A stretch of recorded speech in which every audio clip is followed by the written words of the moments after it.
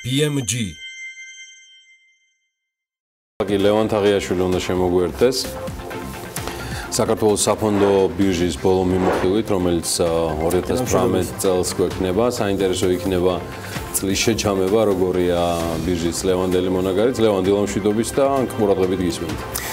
დილამშვიდობის წლის ბოლო მიმოხილვა სამწუხაროდ არასასიამოვნო ინფორმაციით უნდა დავიწყო. არც ეროვნულ და არც უცხოურ ვალუტაში არც ერთი გარიგება არ დადებულა გასულ კვირას. უნდა ითქვას, რომ წლის ბოლოს მოხშირდა ასეთი შემთხვევები, რაც პოზიტიური სიახლე ნამდვილად არაა. რაც შეეხება 2018 წელს საქართველოს საფონდო ბიუჯეტზე ფაქტობრივად ერთგვარი წმენდა განხორციელდა.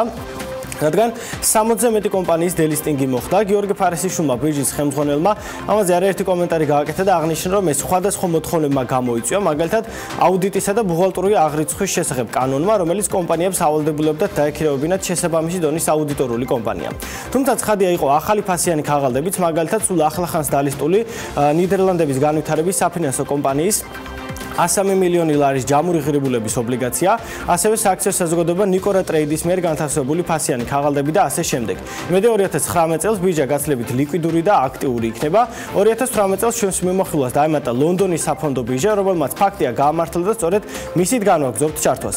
საქართველოს ბანკის 573.000-ზე მეტი აქცია დაიდო მეტ აქციაზე დაიდო გარიგება, რომლის ჯამური ღირებულებაც 7 მილიონ 735.000 ფუნტ სტერლინგი იყო. ჯორჯია კაპიტალი 620.000-ზე მეტი აქცია გასხვის და საქართველოს ჯანდაცვის ჯგუფის 97.000-ზე მეტი, TBC ბანკის კი 177.000-ზე მეტი და მისი ფასი 2.5 მილიონი ფუნტი იყო. კვლავ დაეცა სამი მათგანის აქციების ფასი, მატება ჰქონდა მხოლოდ ჯორჯია კაპიტალის ფასიან ქაღალდებს. გადავხედოთ მას მათ საბაზრო კაპიტალიზაციასაც TBC ბანკის ჯგუფი 728 მილიონ ფუნტადაა შეფასებული. საქართველოს ბანკი 658 მილიონი ღირს, ჯორჯია კაპიტალი 388 მილიონი, საქართველოს ჯანდაცვის ჯგუფი კი 273 მილიონი ფუნტი. ქართულ კომპანიებს ლონდონის საფონდო ბირჟაზე წარმატებულ 2019 წელს უსურვებ, ჩვენ კი დაუბრუნდეთ საქართველოს საფონდო ბირჟას. გასულ წელს მისი ინდექსი 215 პუნქტი იყო, თუმცა ერთი წლის განმავლობაში ის 151 პუნქტამდე დაეცა, რაც ცხადია ზემოთხსენებული 60 კომპანიის დელისტინგის ბრალია ერთგვარად. რაც შეეხება საბაზრო კაპიტალის კაპიტალიზაციას ისიც შემცირდა და თანასწლება არც მეტი არც ნაკლები 2 მილიარდიანი იყო.